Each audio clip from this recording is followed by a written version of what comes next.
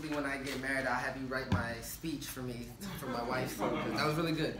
No, my name is uh, Michael Dussel. I am the founder of the 1% Mindset. I believe that everything starts from the shoulders up before it starts from the shoulders down.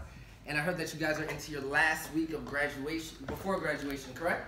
Right. Last week, so you guys went through an entire program. You guys should be pumped, excited. You guys should have all the tools equipped to ready and ready to start a business. So today I thought about it.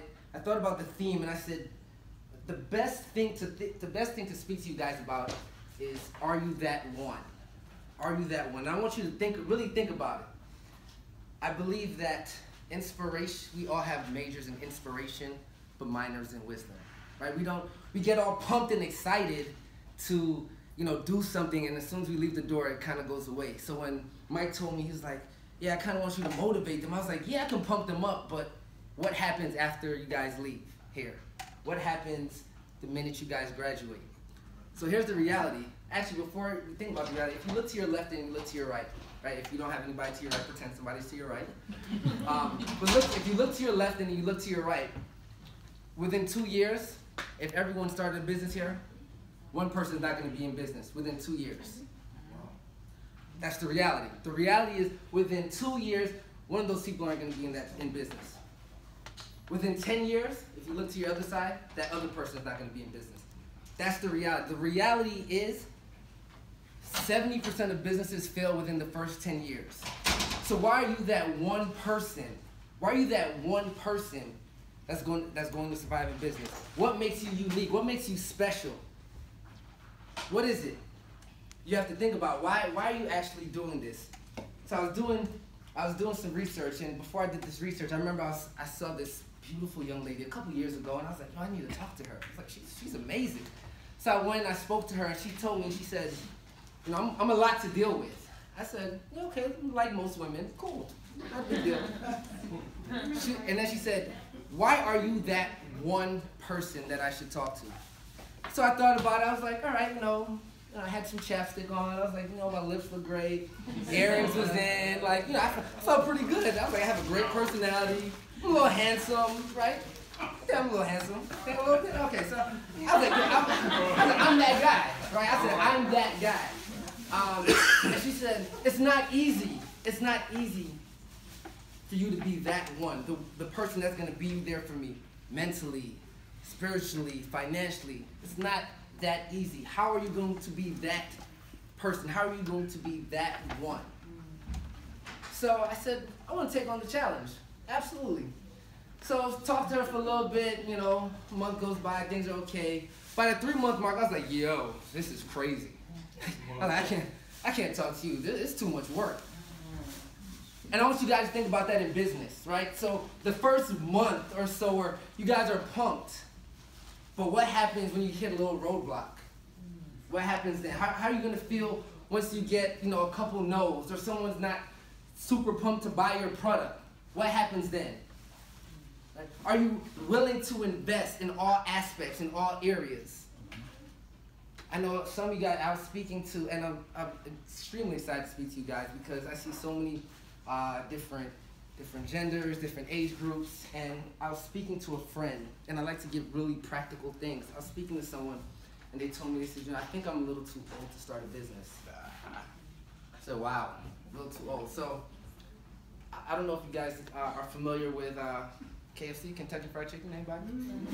oh, you guys heard of it? Okay, me too. All right, cool. So we're in the same place. So I spoke to, and I, I, am very familiar with the story of Colonel Sanders and how he founded KFC. So I told them the story. For those of you who don't know, uh, the Colonel, he founded KFC. There's, I'll, I'll, break down the story. So at 40, he founded, like he had his secret, uh, his secret chicken recipe, and he had he had a service station where he sold the chicken. They rerouted the highway. He went out of business.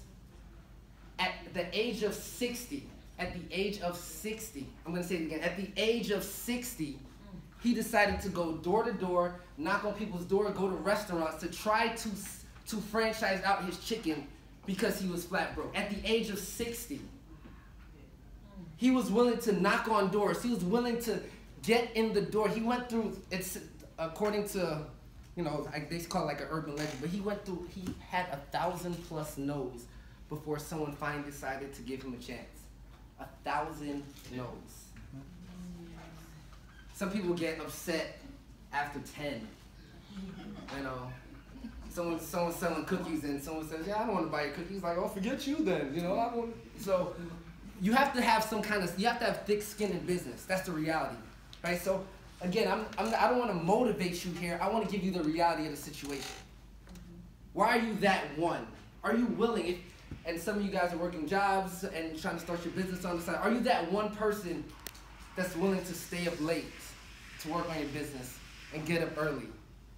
Are you that one person that's willing to kind of put blinders on? You see, because when you're in business, you kind of go into isolation mode, right? Where nothing matters anymore. People are gonna say, hey, let's go out, let's hang out, or let's, you know, let's go to the mall, let's go shopping. And you have to be comfortable to say, it's not what I want to do. I'm so focused, I'm so laser focused with what it is that I want to do. Because in order for you to be that one person that survives, you have to have that laser focus.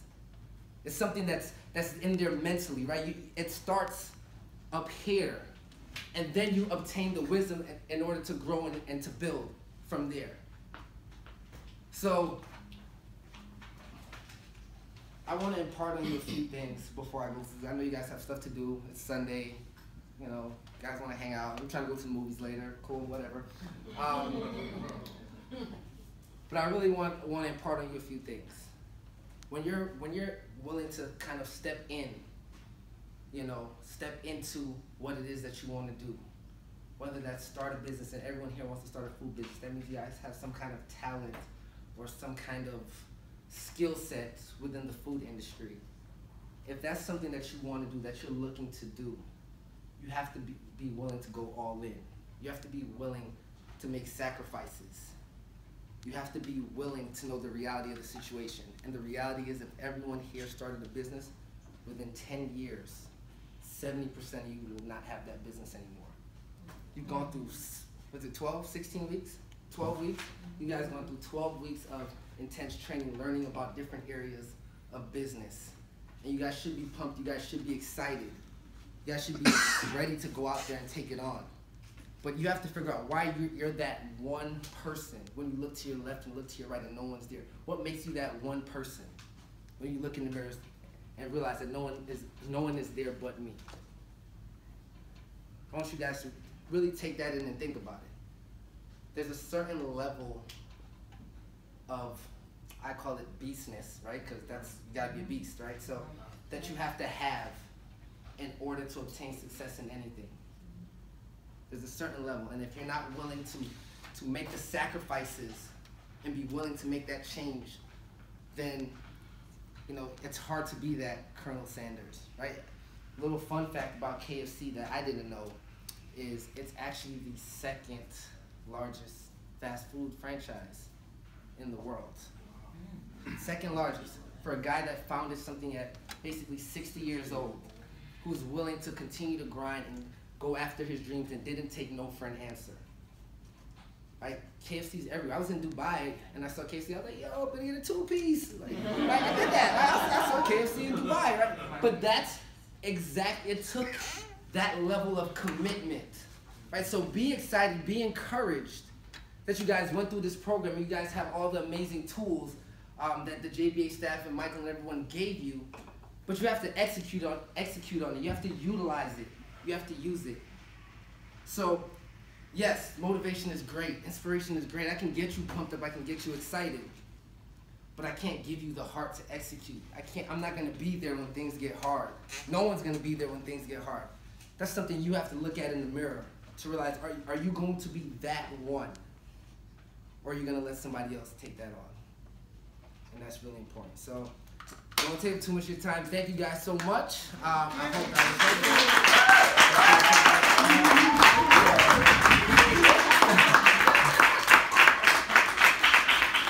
so, uh, uh, I want to give a quick disclaimer. Uh, the very, very back row, of, if you really, if you look back there, um, these are all amazing people that's had some sort of uh, impact or inspiration like to me. They're they're at, so they came out to support me. So I definitely definitely appreciate you guys.